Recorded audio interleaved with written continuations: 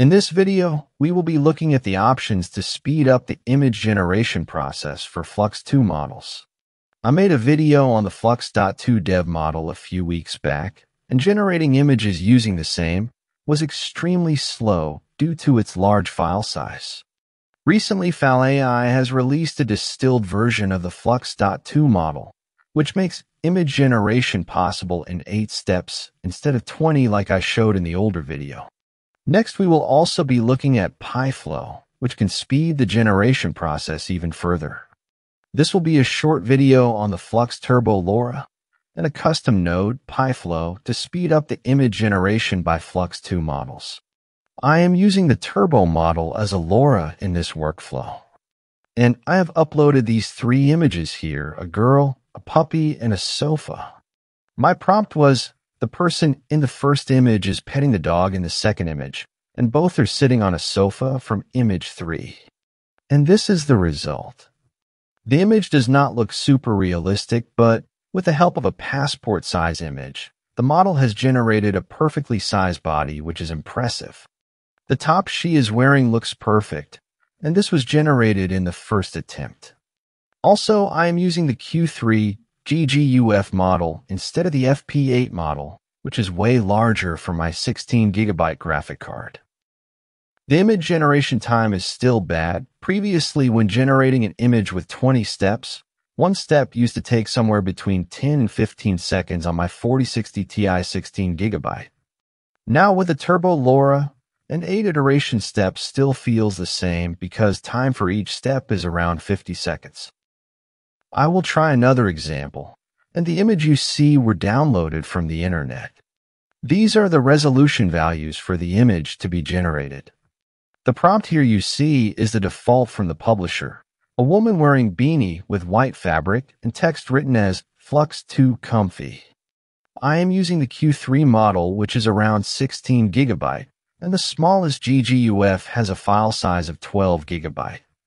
The smaller GGUF model may work if you have an 8 gigabyte of VRAM with 32 gigabyte of system RAM.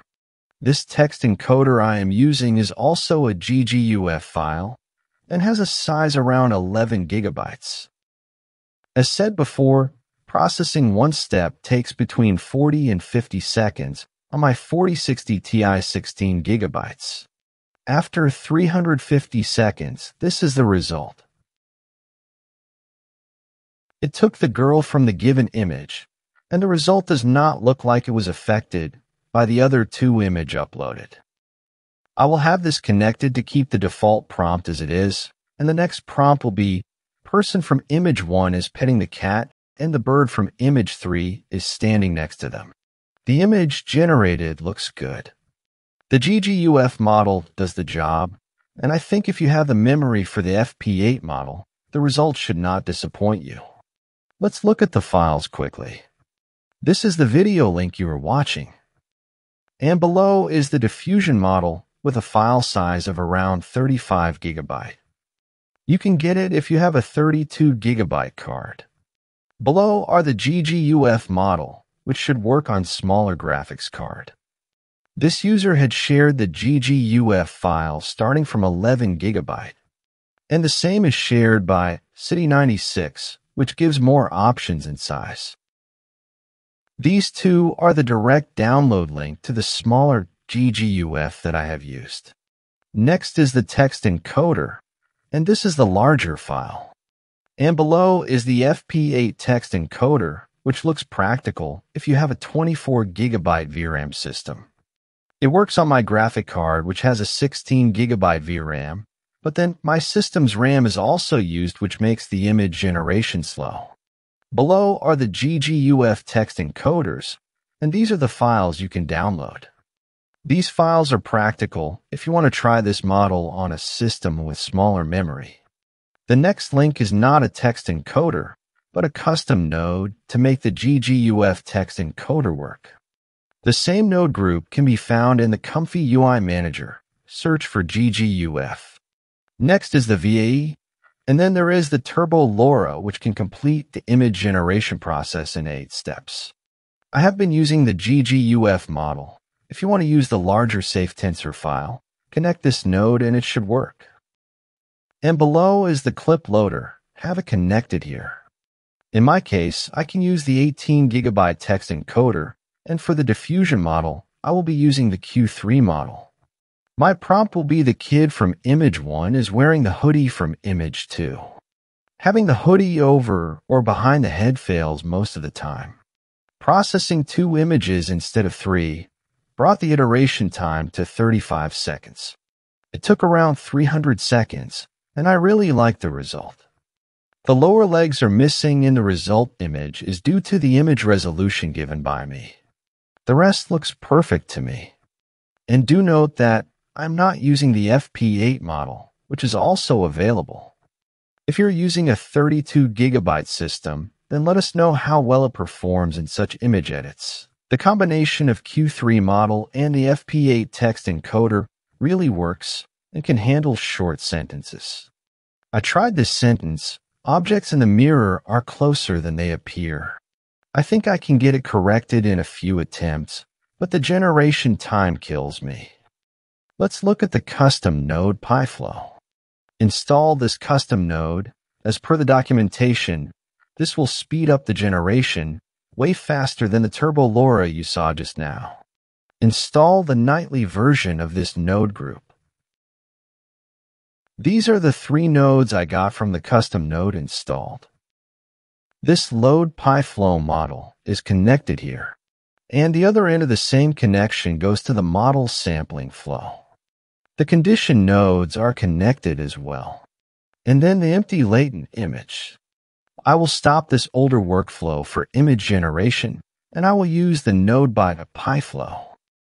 Before that, I will copy the VAE decode node and the save image node to use above. With the help of a reroute node, now the VE is connected above for decoding the output from the Pi-Flow sampler. The older process of generating images is disabled now. Let's select the model quickly and run the workflow. This node you see here is for FP8 or FP16 safe tensor files, not for GGUF files. This is for the GGUF files, so I have connected the node. And then press the letter R to refresh the file list, and then select the file. I have selected the Q3 model. The file required here is not present on my computer. Download the file and then place it inside the LoRa folder. Rename the file for your understanding. Again, refresh the file list and select the file downloaded just now. I have added this extra node for using Sage Attention to speed up.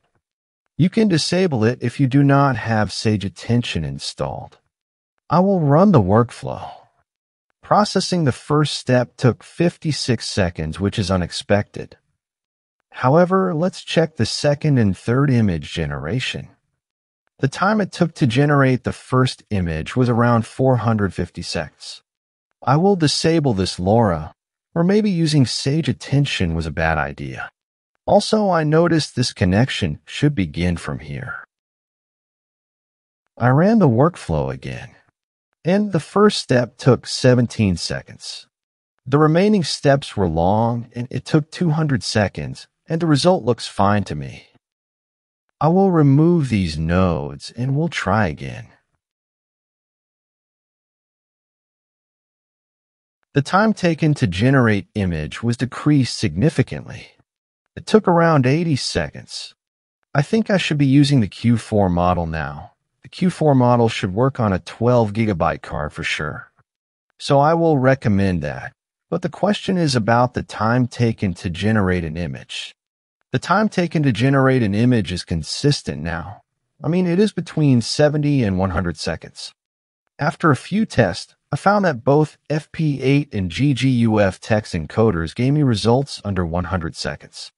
So that is it in this video. The workflow will be in the description and the next video will be on Qwen model. I wish you an excellent day.